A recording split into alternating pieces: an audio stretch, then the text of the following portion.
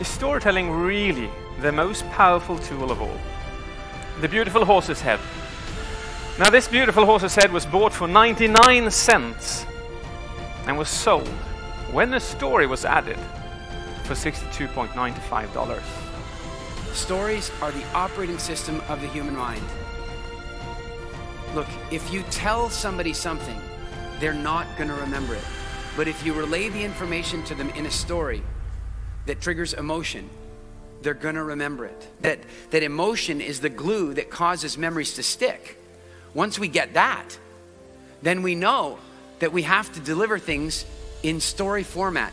Storytelling will change everything about your way you do a presentation. It will change everything about the way the audience receives it. And the beauty is, stories are broad spectrum automatically.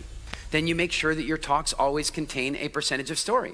You, you, you tell them some information and then you use a story to prove it. Or you tell them a story and they, and they get the information inside the story. But the fact is, no emotion, no memory. Done.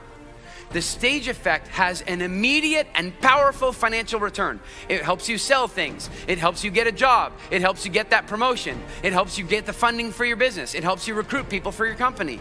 It is the ability to leverage. It's so powerful.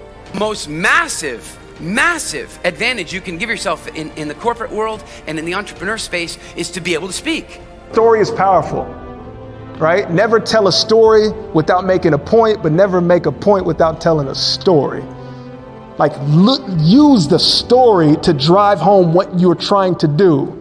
It crosses every industry, every anything that you want to do, a story will get you there.